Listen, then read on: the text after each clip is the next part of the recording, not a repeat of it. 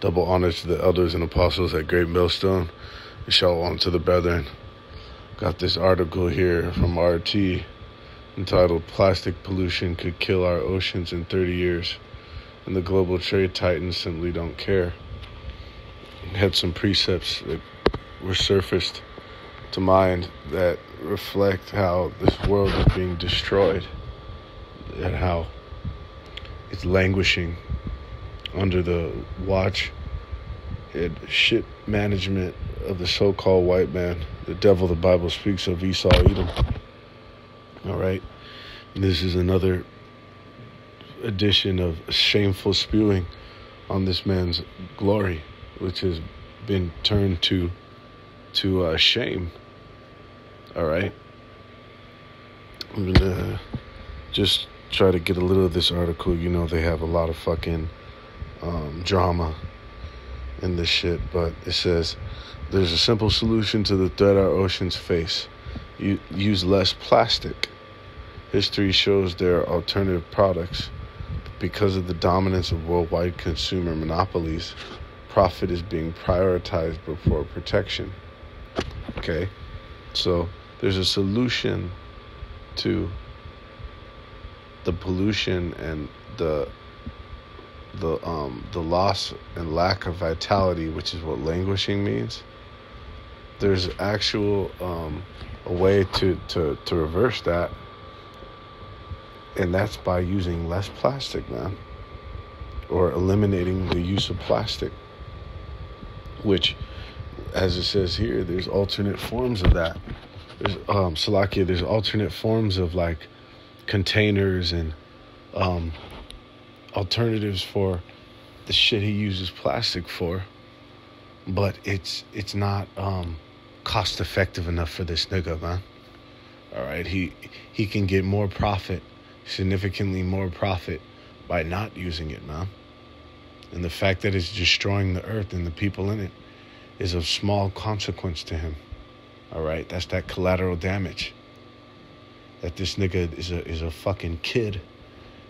How it says in the scriptures that they that are younger than I have us in derision, and also it says that that uh, women, that um, children are our oppressors. All right, so this nigga's a fucking child, and um, conducts himself as such, to where that that um that use of plastic, even though it's saving him a couple extra bucks, is fucking up the world, man. And and his own shit. Collateral damage goes into now you're implicating not only your own people, but eventually it's gonna it's gonna fuck you over, man. But he don't care. He's an unwise leader, man. He's a retard. It says the prediction might be more accurately stated as there will be only plastic remaining in the ocean by 2050. Perhaps a few jellyfish. It is also likely that only 10% of coral reef will be left alive. All right. And what happens if the oceans were rendered um, pretty much fucking obsolete, if you will? Now you can't get any of the um, the food, which is the fish the lawful fish, that is. All right. And then on top of that, you got this nigga fishing out, um, extracting out all of the um, the scavengers and the different creatures that weren't intended for us to eat. That their sole purpose was to perform different functions in the ocean, man, to keep it regulated. But this fucking nigga um, has to do everything against the scriptures. All right. So that is to say, in only 30 years from now, it is quite possible that the oceans will be effectively dead. Okay? We can stop right there. It's just gonna um to expound on the of straight up pollution crisis and and the fact that it's in a inevitable state of of um, deterioration. It's in a state that will, will inevitably lead to its end if the Most High didn't intervene, man. All right. This is another uh, more proof another piece of evidence that proves that if we were to continue and the Most High didn't intervene and come and and uh, uh, bring the tribulation and the prophecies, everything He prophesied to bring to to end this age that we're in, Esau's rulership, then there would be no flesh left to be saved. In Matthew 24 and 22, and except those days should be shortened, there should no flesh be saved. But for the elect's sake, those days shall be shortened. All right? And ultimately, that's the beautiful conclusion of it is that the Most High is shortening the days. He's bringing that intervention because the intervention isn't just one in one act on one day, which which is really when the missiles drop and he returns in his chariots. Yahushua returns in his chariots with the host of angels. It's an actual gradual process, man. So he's shortening the days. He's making his intervention now, like it says in Second Esdras, the ninth chapter, that he would um, return to the world. He'd visit the world in which he made, in the form of visitations, in the form of uh, natural disasters and tribulation, man, calamities, chaos, and that's how he's uh, uh, shortening this thing up. That's why he's that's how he's speeding up the times, man. And eventually, he's gonna. Um, it's going to be a definitive marker for the world to know that this thing is fucking done, man. It's it'll it'll be a definitive um, indication that we're we're we're on the way out of here, man.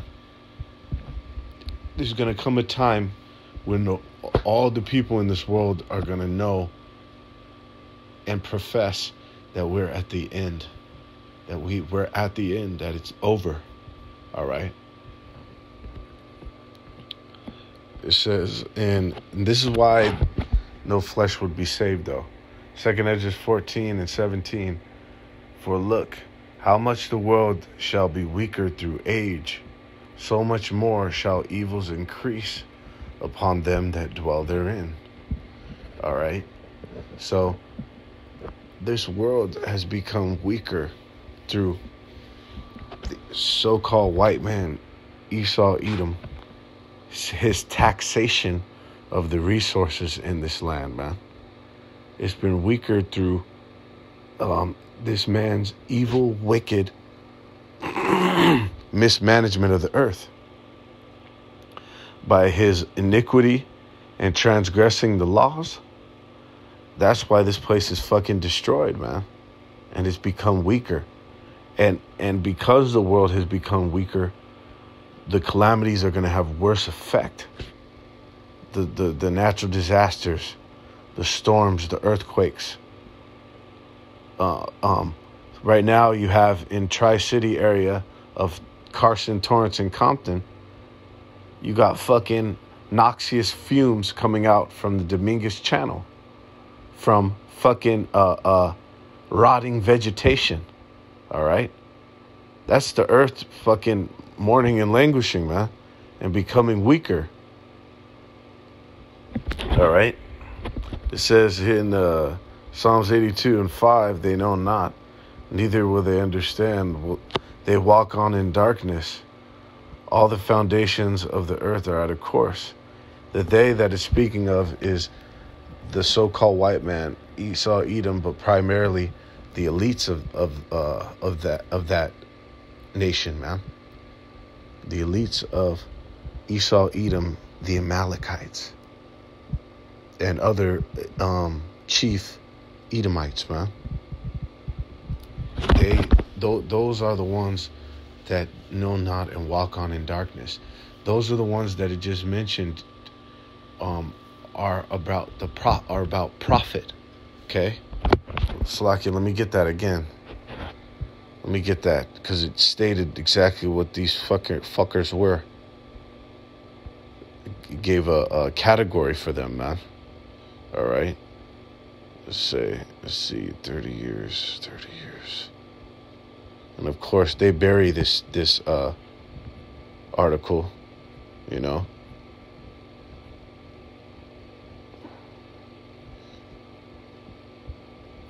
It's coming up right now. Slovakia. Fucking Satan. It says, um, the global trade titans, man. All right. This is, what does it say? The dominance of worldwide consumer monopolies, man. Who the fuck do you think that is? They have a lot of different titles, fucking a thousand different titles, man. But that's one of them. That's who they are, though. They are the ones that walk on in darkness that Look, that darkness goes into their stupidity, to them not having knowledge and wisdom, man. To to not use plastic and to not pollute and destroy the fucking earth that they have to live on. All right? All the foundations of the earth are out of course. That's right. Everything's fucked up and not operating correctly because this man just jumbled everything up, man it says in Isaiah 24 and 4, the earth mourneth and fadeth away, the world languisheth and fadeth away, the haughty people of the earth do languish. That's that article verbatim. Just told you that the, um the oceans would fucking would cease uh uh would pretty much die if in the next 30 years. And if we go if we were to continue that long, huh? That's why when brothers say we, we don't have another five years, that's a very um, wise, astute, spiritual uh, speculation, man. Because this world is languishing, which means to lose or lack vitality. And when something is languishing, when you lose vitality, that it's it go it's to a means to an end. That see, you lose and lack vitality. You don't just lose and lack vitality forever. It's an eventual time where, where that life bar is drained, man. Where where it gets to its end, where it's destroyed, where it's rendered useless, man. That's the state of this fucking world. And the people in it is fading away. That's why the Most High is going to intervene and destroy this devil, man. But this is this is what it is. It is in Jeremiah, finishing off Jeremiah 50 and 23. How is the hammer of the whole earth cut asunder and broken? How has Babylon become a desolation among the nations? All right? That hammer of the whole earth is going into Esau, Edom. And as a hammer, he has bashed up and broken and destroyed the foundations of the earth through his wickedness, man. Through uh, transgressing the laws, not uh, following the ordinances of nature that the Most High set up. Law, statutes, and commandments. What has he done? He's destroyed this whole place. We can go on fucking to the end of time, going into all this man's uh, uh, destruction of the earth with his industry and everything else, man. All right, but the Most High is gonna fucking destroy this man, man. He's gonna he's going to cut him asunder.